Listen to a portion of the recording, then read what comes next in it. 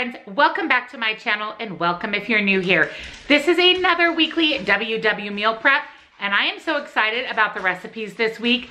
They are part of my challenge over on my Facebook group. If you are not part of my Facebook group, we are almost 9,000 members strong. I'm gonna put it right here. Go ahead and head on over to Facebook, join my group. It is such a wonderful, positive place.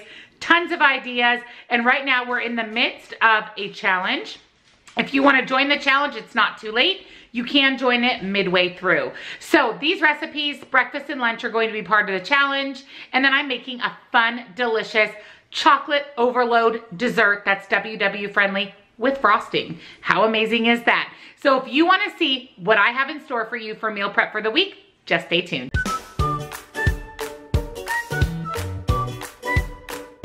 For my breakfast this week, I'm going to be making pumpkin cream cheese pancake bake. Oh my goodness, does that sound so good. This is a make ahead recipe, so this is a great solution for meal prep because you are supposed to make this ahead of time. So great recipe to prep for the week. So let me show you what is in our pumpkin cheesecake pancake bake. So first you're going to need some Heart Smart baking mix by Bisquick. You can use regular Bisquick or any other type of baking mix, Kodiak, Birch Benders. Just make sure you recalculate your points. But I'm gonna be doing the Heart Smart Bisquick. You'll also need some all-purpose flour, milk of your choice or milk alternative. I'm going to be using Carb Master milk from Kroger. Sukrin Gold, which is an absolutely delicious brown sugar alternative. I purchase my Sukrin Gold off of Netrition's website. I find it to be the least expensive. There is a link down below. Click the link. It'll take you to Netrition. You can do some searching around, seeing what's out there. They have hundreds of WW friendly products, but I highly recommend the Sukrin Gold. It's delicious. Tastes like real brown sugar, zero calories, and the best part is it's all natural. So definitely check it out on Netrition's website. I'm also going to be using just some regular monk fruit sweetener. You'll need some canned pumpkin. Make sure you're buying the 100% pumpkin, not the pumpkin pie mix. That one has sugar. And then for my pumpkin pie seasoning, I'm gonna be doing DAKS. If you follow my channel, you know I love me some DAKS. This is an all natural, nothing artificial, you guys, zero. 100% natural, no salt added spices. And these are so good. The ingredients in these are absolutely on point. It is literally all natural. That's it. Cinnamon, spices, and honey. That's it. And with that little bit of honey in here, it adds such an amazing flavor. Highly recommend DAKS. Highly, highly, highly. I do have a discount code for DAKS. I'll put it here on the screen. Click the link below, enter the code, check out their website. Over 20 spices in every single one. Outstanding. I have to say though, pumpkin spice, my all-time favorite. So I'm definitely gonna be adding some of that to this pancake bake. And then also, I'm going to be using vanilla bean paste instead of vanilla. I like the flavor of this better. It's that real, authentic, delicious vanilla flavor. I did pick mine up here at Trader Joe's. You can also use liquid vanilla, whatever you have on hand. We're going to need some fat-free half and half, light butter, eggs, and fat-free or low-fat cream cheese. So let's get started on our breakfast prep. To get started on our pancake bake, we're gonna go ahead and add in our two cups of our Bisquick Heart Smart baking mix. And to that, we're gonna go ahead and add in some pumpkin pie.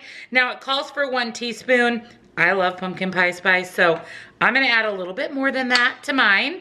And we're just gonna give this a quick stir to make sure we combine together the pumpkin pie seasoning as well as our baking mix.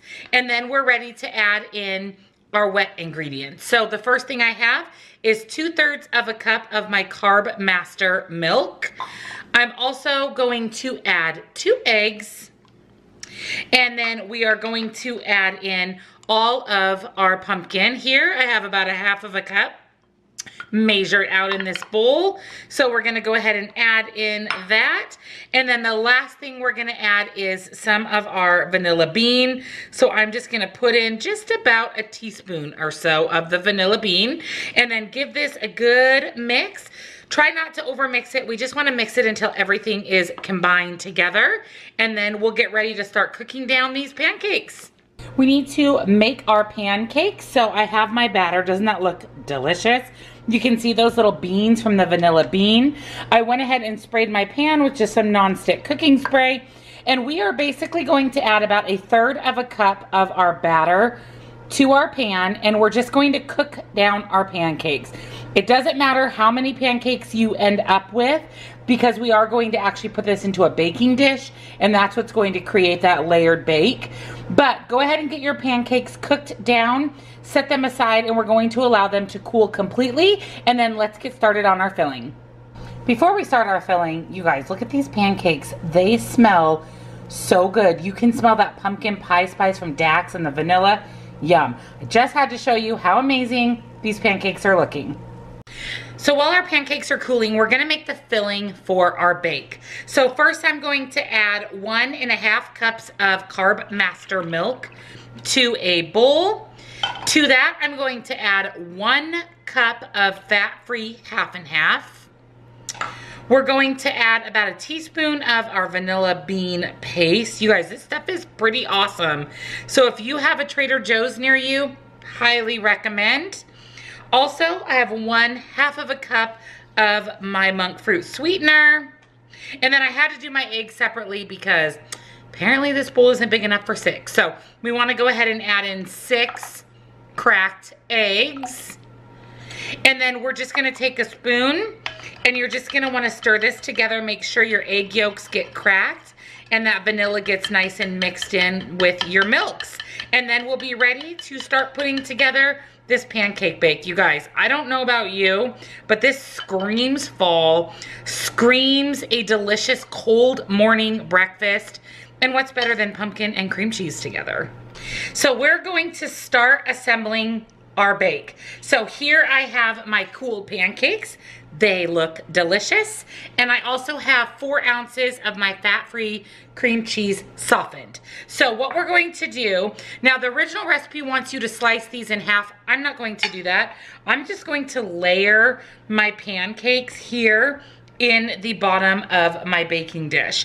I think this is a huge time saver and we're gonna go ahead and spread our cream cheese on top versus putting our cream cheese in between our pancake layer. So in my opinion, just a huge time saver. I'm just gonna kind of stack these in here the best that I can. Ooh, I had a lot of pancakes. Oh my gosh, you guys, seriously, these smell so good. So I'm just gonna layer my pancakes here in the bottom of my baking dish.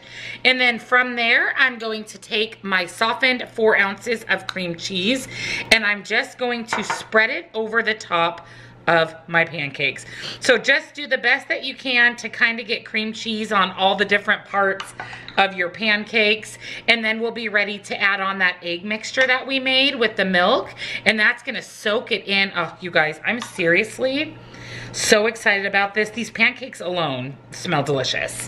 So I've spread my cream cheese over the top of my pancakes. Yum, you guys. And then to that, we're gonna go ahead and just dump over this egg, milk, and sugar mixture. We just wanna get it over the top of all of our pancakes. Not only will it soak into the pancakes, uh, yummy, but it will also bind everything together nicely for the pancake bake. And then the last step is we have to create that delicious crumb crumble that goes right on top of this pancake bake. The last step is our crumble. So what I have here is half of a cup of just regular flour. And to that, I'm going to add one quarter cup of my packed Sukrin Gold. We're gonna add a little more pumpkin pie spice because you can never have enough of that. I'm gonna give this kind of a quick mix. I wanna get that brown sugar mixed in with the flour since it was kind of one big clump in my measuring cup. So we're just gonna get that nice and mixed together. And then the last thing we're going to do is add one half of a cup of cold butter. So make sure your butter is in your refrigerator while you're preparing the rest of your breakfast because you need that cold butter to make a crumble. And we're just gonna kind of cut it in here to our flour mixture and then we'll top our pancake bake with this delicious crumble. So last step, we're just gonna take this crumble mixture and we're just gonna kind of drop it here on top of our pancake bake and it will add that nice kind of crumb buttery coating to the top. And this is going to go into the oven at 350 degrees until all of this egg mixture is nice and cooked through. And you'll know because it's going to have a brown crispy top from the crumble and you won't see any more liquid. So you wanna cook it until that happens. So I'm gonna go ahead and get this into the oven and then once we pull it out, it's going to stand for about 15 minutes to kind of seal the deal here and then we'll cut it into pieces and get it put together for breakfast. But happy fall. So I just pulled our pancake bake out of the oven. I just wanna give you guys a close up. Look at how amazing this looks. It My house smells of all things fall. Cinnamon, nutmeg, pumpkin, yum. So I'm gonna let this set here for about 15 minutes and then I'm going to cut it into eight servings, package it up in my meal prep container with the rest of my breakfast and I'll be back to show you exactly what I'm having for breakfast and give you the smart points. So before we go through my meal prep, I wanna just show you this. You guys, look at that. Cream cheese, pumpkin deliciousness. So that is what the piece of the pumpkin pancake bake looks like. So what I did is I went ahead and cut it into eight servings. So there's three extra servings here in my pan. So I have eight servings here. The serving is huge. It literally fills the large side of my meal prep container and it looks amazing. I tried a little taste, you guys. It is heaven in fall in your mouth. So one eighth of the pumpkin cheesecake pancake bake is six smart points. And then I'm just simply going to have a two to three little mandarins. These are pretty darn small ones. Uh, this is a small compartment of my meal prep and you can fit three in there. So I'm gonna have one slice of my pumpkin pancake cheesecake bake, three little mandarin oranges. So my breakfast, you guys, six smart points for this decadence. So for my lunches this week, I'm gonna be doing a sausage and spinach creamy gorgonzola pasta. Doesn't that sound delicious? And I am going to just pair this simply with some vegetables and some fruit because the pasta itself has some veggies in it and also our protein. So let me show you what is in our pasta. So first you're just gonna need some plain all-purpose unbleached flour, milk alternative of your choice. You can do Carb Master, almond milk, Fairlife, whatever you have on hand. Also some non-fat plain Greek yogurt, pepper, pasta. The pasta I am using is the Fiber Gourmet Light Elbows. If you guys have not invested in Fiber Gourmet, it's not even an investment because it's not that expensive. This pasta is delicious. You can have two ounces of this pasta for only three smart points, and that is two ounces dry. Always, always measure your pasta dry. Traditional pastas are anywhere from five to six smart points for two ounces. So this is half the points and it is delicious. It is full of fiber and protein, 19 grams of fiber and eight grams of protein. So it definitely keeps you full.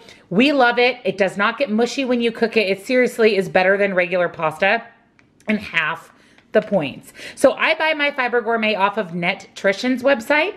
There is a link down below. Just click on the link. It'll take you to the website.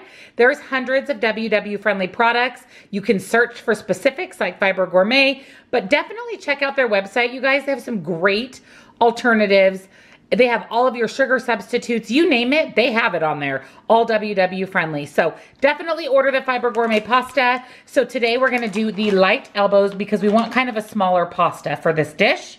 We'll also need some light butter, some sausage. I'm gonna be using the Sam's Choice chicken and apple sausage. I love these. These ingredients are outstanding on this sausage. And they are only two smart points for an entire link.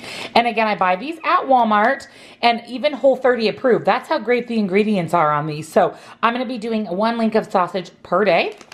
Also, you'll need some gorgonzola cheese and lastly, some fresh spinach. So let's get started on our pasta.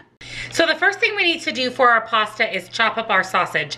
Mine are pre-cooked. If yours are not pre-cooked, make sure that you pre-cook them first. So whenever you're cutting sausages, several of them for a recipe, make sure that you're cutting all of your sausages into the same number of pieces. That way you know how many pieces of sausage to put in each meal prep container. Otherwise, there'll be days that you're not eating a full link. There'll be days that you're eating over a full link. So it's just best to make sure that you count all the pieces and cut all of your sausages into that same number of pieces. So I have two, four, six, eight, 10, 12, 14. So I'm gonna cut each link into 14 rounds and in each meal prep container, I will put 14 rounds. So let's get the sausage cut, cut so we can start cooking up our pasta.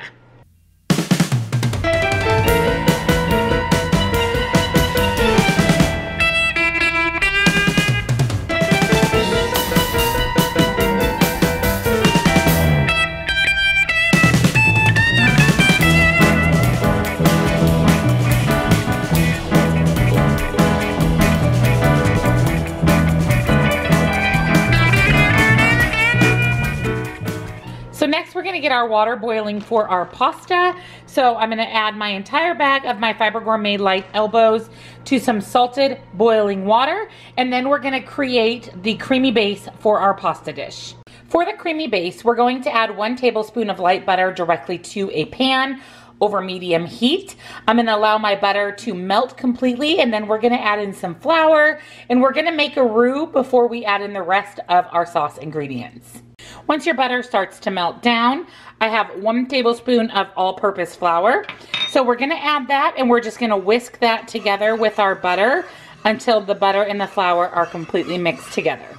After your butter and flour is mixed together, we're gonna go ahead and add in our milk and we're gonna allow this to warm up a little bit. You wanna make sure your butter and your flour are melted down and mixed very well with your milk before we add in our yogurt because we don't want any clumps. So your milk's gonna have to come to a warm temperature to really melt down the flour and butter mixture. And then we'll add in our yogurt.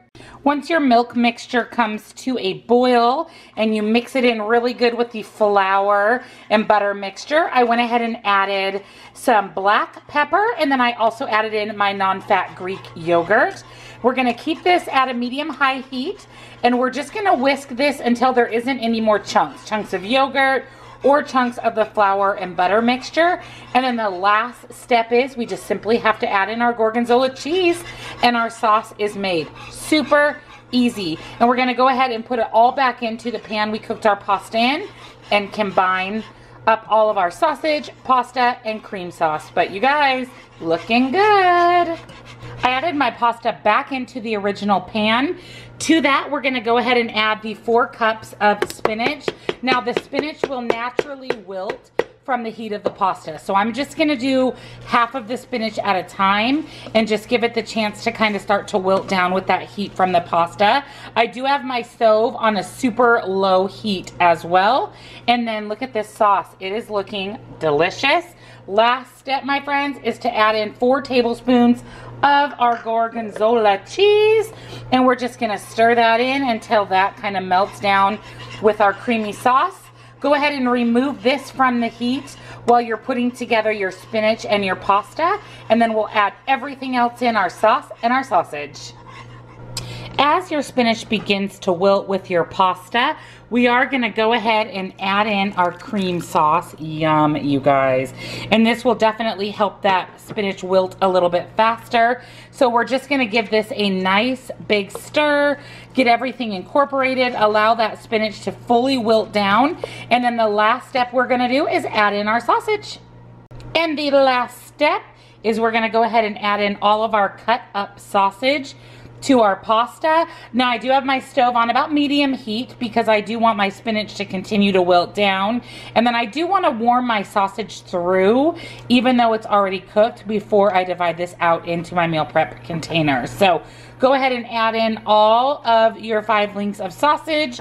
And then again, I'm just going to allow this to warm through a little bit and then we'll get this packaged up into meal prep. This makes five servings and that way we have just enough for all five days. So I'm gonna show you kind of a trick that I do to measure out my food to make sure that I'm getting just the right amount each day. So let me let this warm through and we'll get this into meal prep containers. So here is my completed pasta, yum. So what I did is pulled out my food scale and on my food scale, I put my bowl and then I zeroed it out and then I added in all of my pasta to my zeroed out empty bowl. And my pasta weighs a total of 1,000, oh sorry for the glare guys. I don't know if I can help with my skylight. There we go basically 1,577 grams. From there, I went ahead and divided that by five. So that means that each serving of my pasta is 315.8 grams. So what I'm going to do is just remove 315 grams or so out of my bowl here from my food scale into five separate containers. So that's just an easy, quick way to figure out exactly how many grams or the amount that you should be having per serving of a dish. So here are my lunches for the week. We don't have a lot of color going on, but we have a lot of flavor, you guys. This pasta is absolutely amazing. It is so rich and creamy and cheesy. I'm literally obsessed with it. I can't wait. I'm gonna have to make it for dinner for my husband because he loves those chicken apple sausages and he loves like gorgonzola, blue cheese. Yum. So let me show you what I'm having. So believe it or not, this is 318 grams weighed out of the pasta. That is so much. The large size or side of my meal prep container is heaping full with pasta. One link per day. So the gorgonzola pasta with the sausage is only six smart points. This entire serving of pasta six points. And then I'm just having a few of the Trader Joe's frozen Brussels sprouts. I just spray those with a little spray butter, salt and pepper for zero. And then I am going to pack a white peach just to have kind of a fruit with my lunch. And then for dessert, I've really actually been liking these. So if you guys make it over to a Target, they have all their fun little Halloween sized treats on sale. So I picked up these Annie's Halloween Bunny Grahams. These are just honey and chocolate. So they're orange and brown delicious. Absolutely, positively delicious. And they are only two smart points for this little package. And honestly, there's quite a few in here. It just cures that crunchy sweet after a meal. So I'm gonna have one of my Annie's Halloween Bunny Grahams. So my entire lunch, including dessert, eight smart points. You can't beat it, you guys. This entire lunch, eight points. For a sweet treat this week, I'm so excited. I'm gonna be making triple threat, triple chocolate, frosted cupcakes. I can't wait, you guys, to share this recipe with you. I kind of came up on it with this on my own. It sounds amazing. I was craving some chocolate and I wanted something point friendly that would allow me to stay on track but still enjoy something I've been really wanting. So let me show you what's in our triple chocolate cupcakes. First, you're going to need some Pillsbury sugar-free cake mix. This is just the devil's food. Also some applesauce the chocolate chips that I'm going to be using are these Bake Believe dark chocolate chips. These are from Walmart. So Lily's in my area is not sold at Walmart, unfortunately. So the only place I can buy Lily's is the health food store. And it's anywhere from six to $7 per bag. These are less than $4 at Walmart. They have dark chocolate, semi-sweet, and white chocolate. So I picked these up. I'm going to be using the heck out of these for the holidays. So I'm gonna start this first recipe using the dark chocolate chips. And then you're gonna need some water. And we're gonna be using the Pillsbury sugar-free chocolate fudge frosting and of course some eggs. So let's get started on these cupcakes. So let's get started on our cupcakes. So the first thing I did is I took my box of sugar-free cake mix and added it here to my bowl. We are gonna prepare it per the package instructions. So we're going to add one and a quarter cup of water. And again, this is per what the package says. We are substituting one half of a cup of applesauce for the one half of a cup of oil. And that's a great substitution. You can also do non-fat Greek yogurt which is also another great substitution.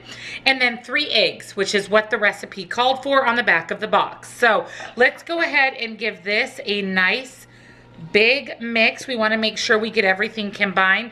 We also don't wanna over mix. So I'm very gently just gonna kind of stir in the dry part of the cake mix a little bit with the liquid. And you don't need it completely combined, just starting to combine. So that looks pretty good. And then here, you can see the size of these chips are much larger than uh, Lily's.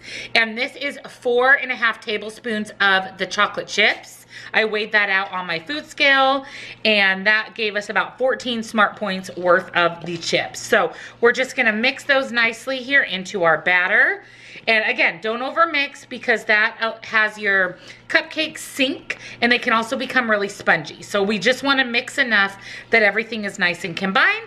And then we'll grab our scooper and we'll get these into our cupcake tin. So I went ahead and sprayed my muffin tin with some nonstick cooking spray grabbed out my large scoop. I purchased these scoops off of Amazon. You get all three sizes for about $10. They are linked down in my Amazon store. I also have my delicious cupcake batter. So I wanna get 12 cupcakes out of this mix. So I'm gonna take my large scoop and I'm gonna get a level scoop and put it here into my cupcake pan and we're gonna do that until we have all 12 cupcakes. Now there is a good possibility that this mix will make more than 12 cupcakes. We will just have to see as we load our batter. And if that's the case, then it would just lower the points a little bit. So I'm gonna go ahead and fill all 12 of these. I'll be back to show you exactly how many cupcakes I got out of the mix and we'll get these ready to go into the oven. And then my friends, the best part comes and that is the frosting. So I got 12 nice big full muffins out of my batter. And as you can see here, I do have quite a bit left. So I am going to also fill up my mini muffin tin and you'll be able to have three mini muffins for the smart points of one full-size muffin. So I'm gonna use the rest of this batter, get this filled up, and we're ready to put everything into the oven.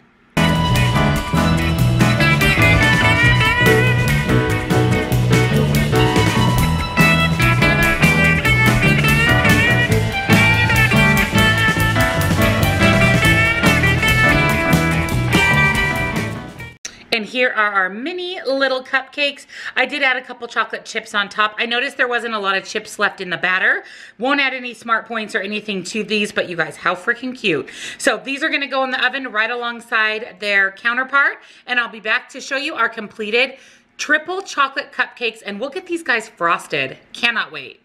All right, our cupcakes are out of the oven. Look at these. These look so good.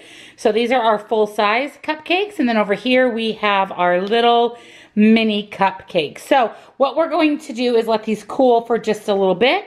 And then we're gonna add some sugar-free frosting. And I'm gonna talk to you guys a little bit about this frosting and how you can change up the amount to change up the smart points. So let's let our cupcakes cool for just a few more minutes and we'll get ready to frost them. So my cupcakes are nice and cooled. And again, I'm using the Pillsbury chocolate fudge sugar-free frosting. They also make a vanilla that is really, really good. So just shy of a tablespoon of the frosting. So this is not quite a tablespoon, which is honestly plenty for a cupcake. Just shy of that is only one smart point. So basically what I'm going to do is put that on to my cupcake and really, we're just gonna spread it around and you'll be surprised. It is more frosting than you may think on your cupcake and it is only one smart point. So look at that. Look at that delicious cupcake full of chocolatey fudgy frosting. So yum. So I'm gonna get everything frosted, the large cupcakes with just shy of a tablespoon of frosting. And the small cupcakes, I'm literally going to put just a tiny little dab. It'll be zero points. It'll literally be less than a third of a tablespoon just to give that little bit of frosting to each of my small cupcakes. So let's get these guys all frosted up and then I'll be back to show you our completed cupcakes and give you the smart points.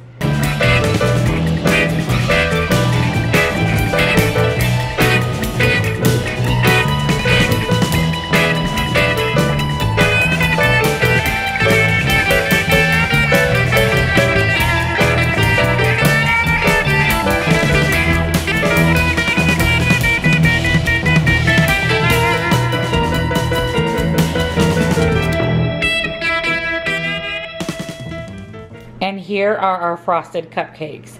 I cannot tell you how delicious these are. I tried a mini one, you guys.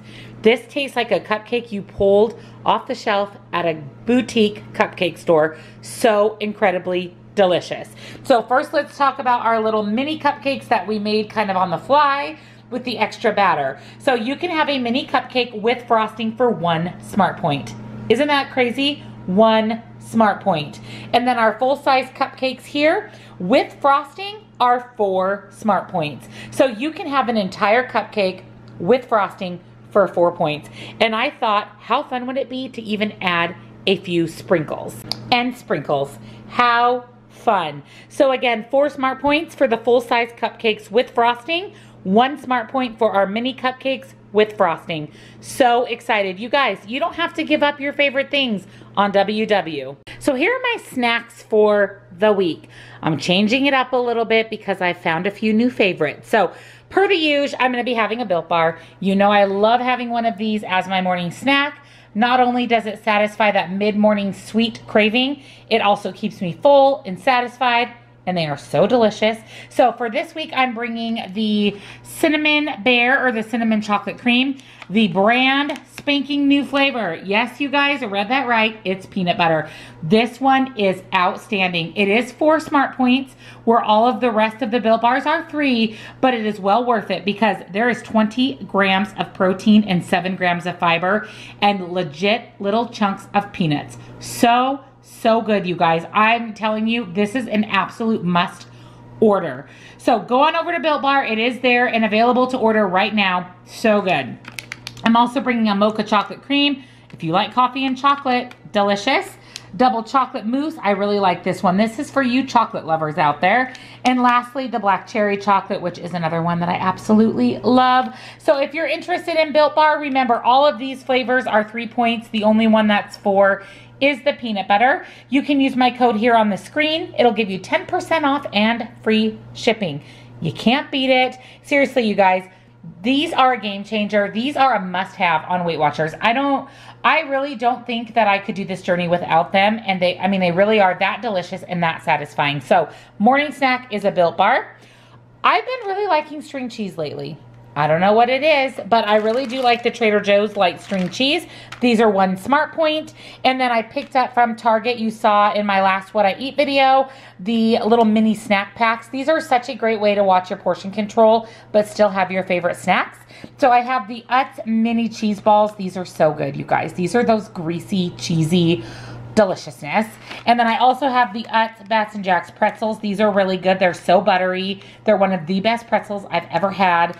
And these little packages are one smart point. So you can't beat it. Portion control, one point. I usually have one of these and something with some protein like a string cheese for a two smart point snack.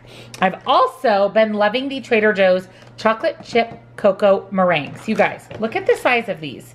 And these meringues, so you can have three meringues for 90 calories and it actually ends up being five smart points just due to the sugar.